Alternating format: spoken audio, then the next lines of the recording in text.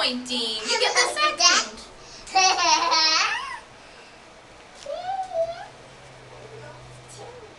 Good pointing. You get the duck.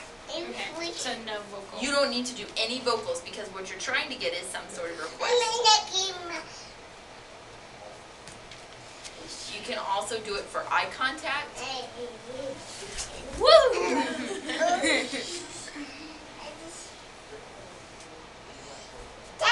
Good looking. And you can you can hold it in front of your face. Nice looking at me. There you go as your prompt. And that would be a visual. Those would be yeah, these would all be visual prompts if they're close to your face.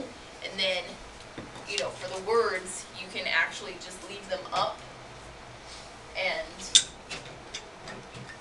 model if you need to. But right now, her vocal imitation's also kind of Yeah. so.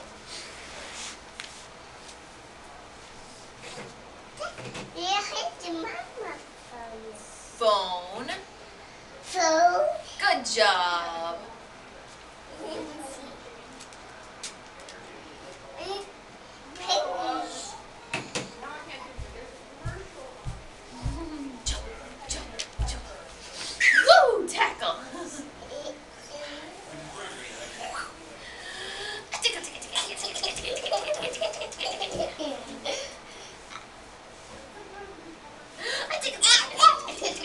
And physical stuff, like if he likes it, that's a good one for for um, eye contact.